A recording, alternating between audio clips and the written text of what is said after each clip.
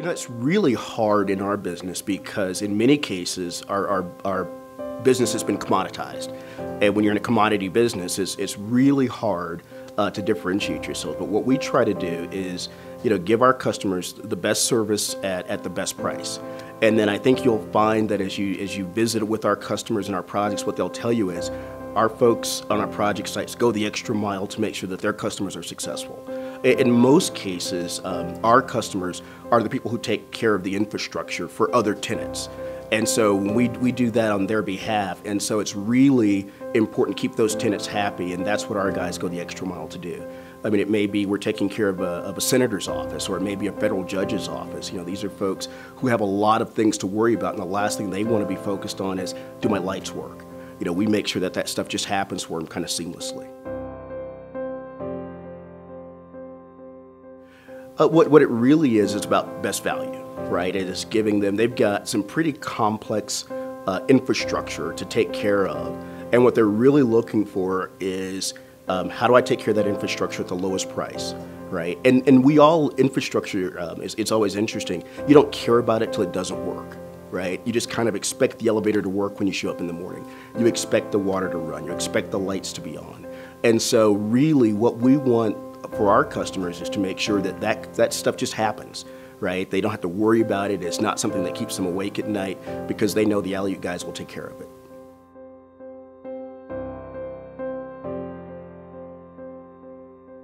So, you know, for us, business development is, is really one of the most important things we do here at the, at the, at the corporate office. Um, all of the business development activities are, are led out of here, and, and Brenda uh, has the lead for those, but it really is a, a, a team sport. Um, you got to have the contracts guys reviewing the RFPs to make sure we understand what we're signing up for.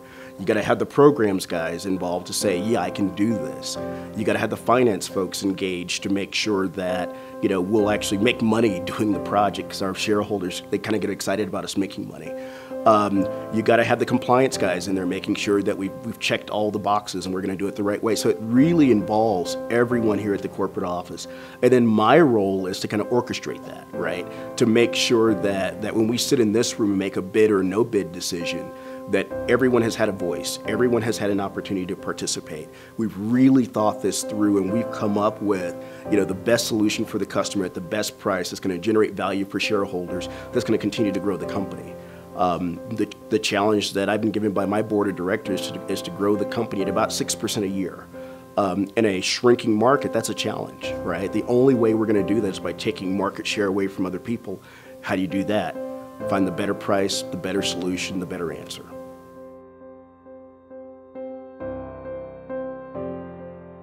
That's always the challenge, right? Because to, to continue to win programs, in a commoditized market, you got to keep, there's a lot of price pressure. You got to keep squeezing that price point.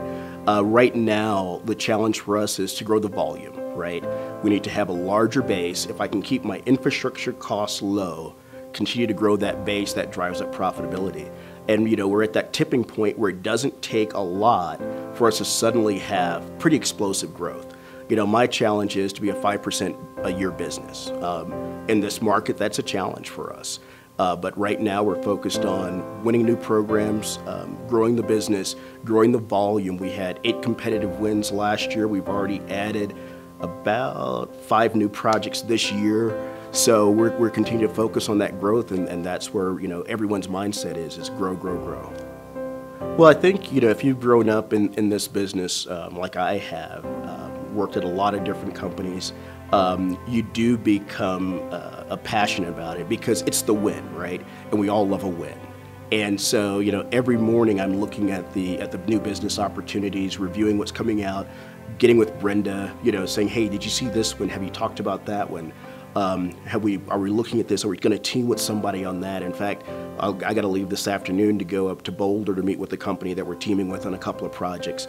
And so, you know, so I'm involved in it every day. And, and like I said, it's the win. There's nothing better than picking up the phone and calling my boss and saying, "Hey, we want another one," um, and being able to tell the team. And, and we have a win party after every win.